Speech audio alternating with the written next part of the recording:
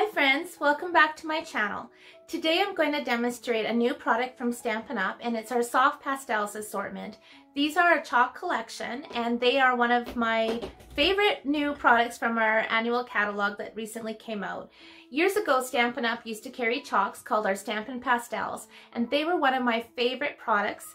They were definitely a favorite with my customers and they're one of the products I was most sad about when they retired. So I'm so happy they're back. There's an assortment of eight colors and today I'm going to share with you some of my favorite ways and favorite techniques of using our chalk pastels. The pastel chalks are so versatile. It's perfect for beginner stampers or advanced stampers, and there's so many different ways you can use them. So I'm not going to cover them all today, but I'm definitely going to give you a great start on different ways that you can use them. So let's start stamping. So these are our soft pastels assortment, and when you open them, you will see that there are eight colors. So we have Night of Navy, Coastal Cabana, Granny Apple Green, Mossy Meadow, Gorgeous Grape, Poppy Parade, Mango Medley, and Daffodil Delight. So these are the chalks. So I'm going to show you some of my favorite ways of using them. So I'm bringing in a silicone craft mat, which has chalk on it. So I'm just going to wipe it off. And I'm going to show you um, a few different ways that you can use these. So the first thing is, is you can use some of our sponge daubers. These are awesome. If you've never seen these before, you just stick it right in your finger there and you're ready to rock and roll. You can also use our blender pens. I'm going to show you how all of these work. You can even use our water painters and you can use Q-tips. You can use sponges, of course. So what I like to do with these, because these are a different style than our old chalks that we used to carry. Ours used to be little tiny squares. What I've been doing, and what I find works really, really well, is I take the spatula end of the Take Your Pick tool, okay, and I just literally scrape off some of the powder. You do not need much, and a little goes a long way. So I'm going to go ahead and do that for um, probably all the colors. That way I've got them handy here for my demonstration for you.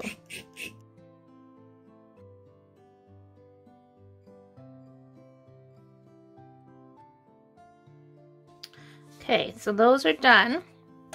You will have chalk on your fingers, so make sure you have something handy to wipe that off with. I'm going to keep the lid off because I'm, I'm going to show you how you can actually use these chalks uh, without scraping them off as well. So I'm just going to set those aside, slide this over. I'm so excited about some of the techniques I'm going to share with you. Okay, so the first way that you can use the Stampin' Pastels is simply using them to color a stamped image. So I have gone ahead and pre-cut some of our Whisper White. I've cut them all down to measure four by five and a quarter because I want to use these to stamp the, um, to share the techniques with you. And then I'll go ahead and just put them on a card base at the end. So they're just going to be very basic cards. And I'm going to pull in my Free as a Bird stamp set. I love this stamp set. I haven't used it for a while. Last week I used this at my mystery stamping hour and I'm like, oh my gosh, I love this stamp set. We have so many great new sets in our new catalogs, but somehow we tend to forget some of these um, great sets too. So pull out stamp sets if you haven't used them for a bit and give them some love. All right, so I'm gonna put this on my block. And I'm going to use my black Memento ink pad for this.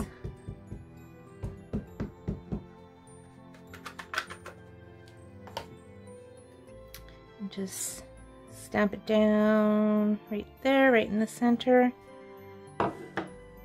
So pretty. And I'm going to go ahead and stamp my sentiment while I have my black out. Um, I'm going to stamp We're the Best of Friends.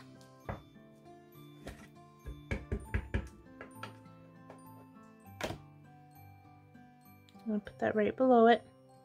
So again, these are going to be very easy cards, perfect for new stampers, and also for those of us who've been stamping for a while and we just want some fast, pretty cards to make. This is ideal.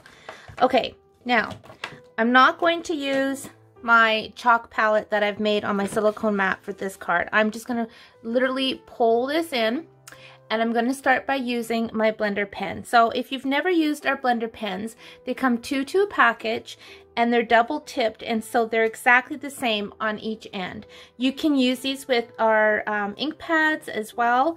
Today it's all about using the chalks. Now I will say that using the uh, pastel chalks will dry out the ends on these a little bit. So I always keep a blender pen designated for my pastel chalks and then I'll have another set or another pen just for using inks.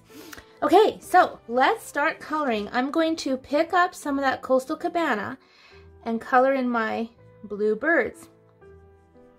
And the beauty with the chalks is you can add shading really easily because when you first go down on your cardstock, it's going to be darker and then as you blend it in, it will get lighter.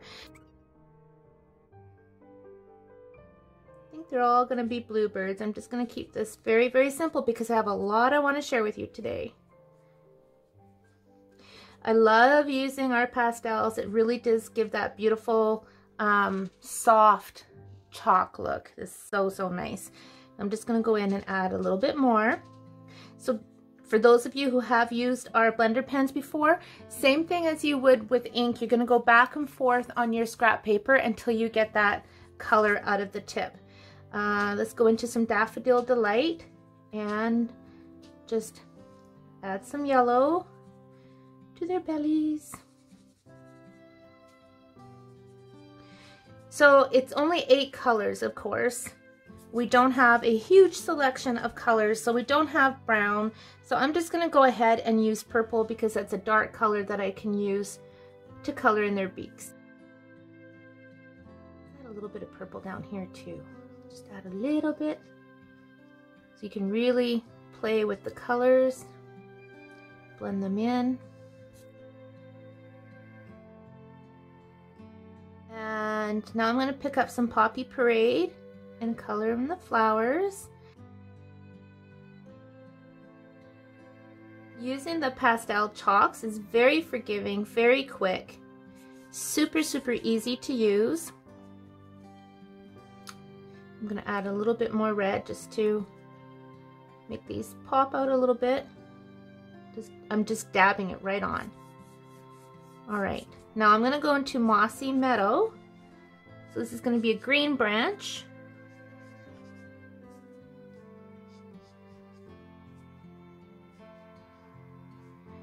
And I'm going to use Granny Apple Green to color in the leaves. I love the Granny Apple Green because it's just such a nice, bright, vibrant color. And look, I missed that little flower, so I'll come back into that in a second.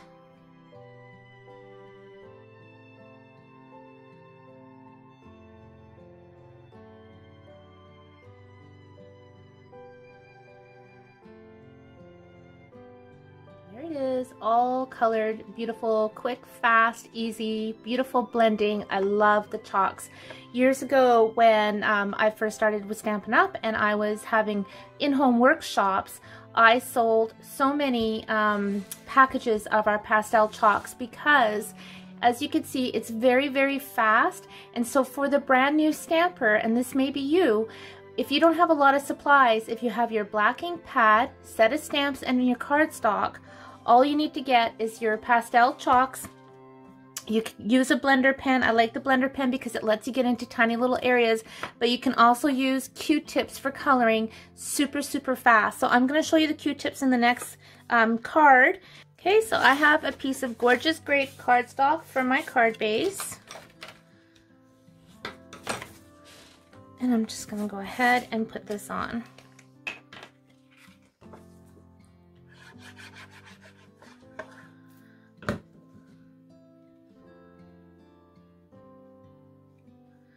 A little bit of glue sneaking down at the bottom.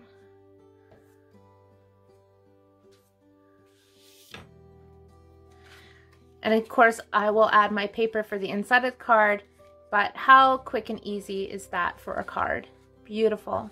So the next card, I'm gonna stick with using Free as a Bird. And grab a block, a little bit too small. There we go. Again, using my Memento ink pad.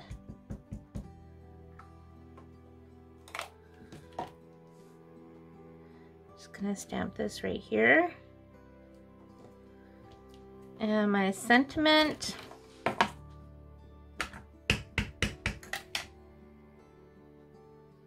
Again, simple, simple cards, just showing you how you can use the um, pastel chalks.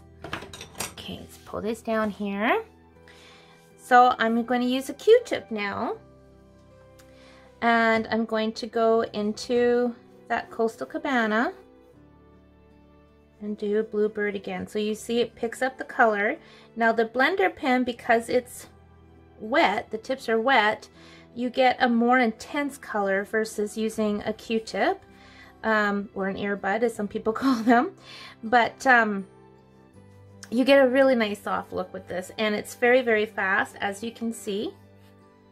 And a little bit of purple, dab that on for the beak. Just like we did on the last one, we'll add a little bit of purple here and there.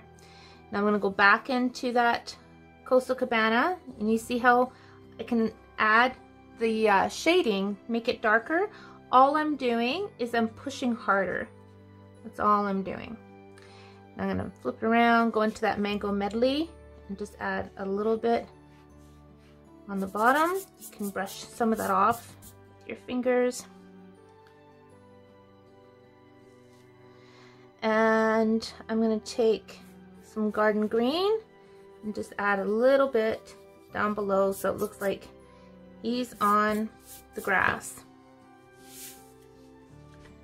Doesn't get any faster, doesn't get any quicker than that. So easy. And again, I'm going to put this on my gorgeous grape cardstock. So both from the same stamp set. And you can see hopefully the difference with the blender pen and that blender pen also lets you get into all those tiny little pieces, little bits, and then this bird with the Q-tip. Quick, easy. Now I'm using the Art Gallery stamp set and I'm going to demonstrate um, a technique known as Poppin' Pastels. So if you are new to stamping, this will be new to you. If you have been stamping for a while, I will be surprised if this is new to you, but it might be. But this is this is such a popular technique with our pastel chalks. I'm going to bring in my piercing mat, which I like to use when I'm stamping with our photopolymer. Let's stick that on. It's a big stamp for that stamp. Let's see, let's grab this one. Thanks, Peter. All right, this is this is magical. Magical. All right, I'm gonna take my Versamark ink pad, take a moment to enjoy seeing what a clean ink pad looks like. My first marking pads never stay this way very long, so I'm very excited to have a new Versamark ink pad. All right, so I'm gonna stamp my flower right on to my white cardstock. And I know you can't see this on the camera, but it's there. And I'm gonna stamp leaves right below it. A little bit off center, that's okay. I'm gonna put this lid on. And I'm gonna pull in this palette of pastel chalk. Okay, now I have um, sponge daubers that I've already been using with these chalks. I'm just keeping them all together in the bag. And that way I'm not getting them mixed up with my inks as well. Okay, you ready for the magic? I am going to use my Poppy Parade. I'm just going to dab it right into that chalk and go right on the cardstock. See, I'm just tapping it on and you can see the colors pop right off the page. Isn't that cool? And now I'm going to go into my green. I'm going to use Mossy Meadow first because I want to have a couple shades of green. So now I'm going in with the Granny Apple Green. I love shading the pastel chalks together. Just pull it off. And I want a little bit of yellow in here too. So I'm just gonna dab some of that on. Just brightens it right up. Now I'm going to take a piece of paper towel and I'm just going to lightly brush off the excess. Now you can set this with the fixative that you get from a craft store. You can use light, um, sorry, you could use, um, you could use hairspray. I actually don't use any of that and I find it's fine. I don't find I'm getting enough chalk off on my fingers for it to be an issue. So how cool is that? What I want to show you is another card that I made, also using the Poppin' Pastel technique. And for this card, I used the Color and Contour stamp set. So I did exactly what you just saw me do here. So this is all chalk, but then I stamped the outline image with the basic black and put that on top and then some of our beautiful new shimmer vellum. If you haven't ordered any of this, let me tell you, seeing it online or in the catalog doesn't do it justice. This is the coolest vellum ever, all in our beautiful new in colors. So these are for, um, these are my cards that I worked on yesterday. So these are for my class members who signed up for this month's color and contour class, which um, the kits are sold out but I am going to be sending everybody a thank you card. So all I need to do is cut out more butterflies and put them on the cards, but they're all different colors. And they were actually quite fast to do because I was using the pastel chalk. Just so much fun. So you could also make these into a one sheet wonder where you do an entire um, 8.5 by 11 piece of cardstock and then cut it up. I didn't do that for these. What I did for these ones is I um, I cut them all into um, I think it's like two by four or something like that because I wanted the I wanted to have the same amount of flowers on each card but it didn't take too long and I put some music on and really enjoyed it and all their um, envelopes are stamped as well so I'll just kind of hide an address but I've also stamped their envelopes to match also and that's also using the Poppin' Pastel um, technique. Here's another one done with the blue. So my cards coordinate with the envelopes.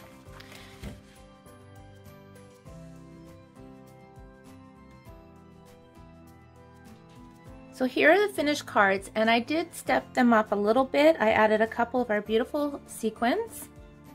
So that was the first card that I did using the blender pen with our um, pastel chalks.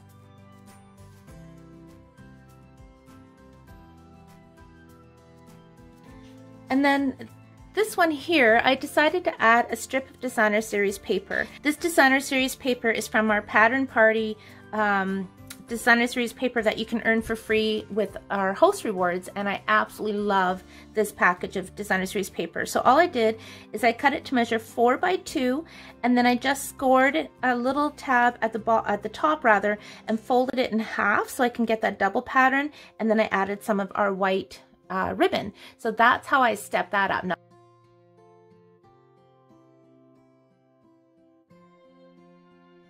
Now here's the Poppin' Pastel card I made where I stamped it with Versamark and took my sponge dauber and added on the chalk. Well, you can see all I did is I just added a beautiful sentiment. Now this sentiment is from our Sunny Sentiment stamp set. I simply just stamped it right on top and then I mounted this on a piece of Granny Apple Green cardstock. So you see very simple cards, beautiful cards.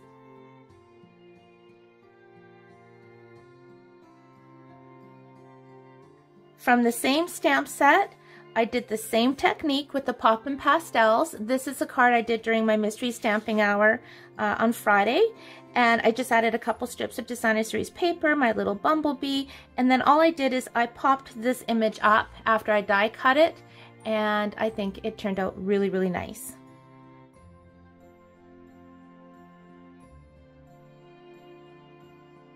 And then just to show you another card that's very simple, this was using our um, Butterfly Brilliance stamp set. And again, it's the Poppin' Pastel. So I just stamped it with the Versamark and used my chalks. Very, very simple. I added a little sentiment. This is from Inspired Thoughts, and I just used my scissors to cut it. So again, you don't need a lot of supplies to make beautiful cards.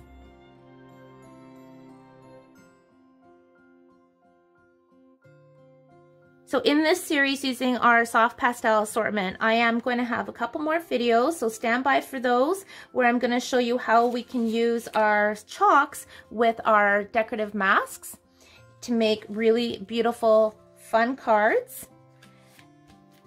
And then I'm going to show you how we can use our embossing folders with our Stampin' Pastel. So lots of fun ways to use these beautiful chalks. Today was just the basics and I hope you have fun with this. Thank you so much for watching. I appreciate you and happy stamping.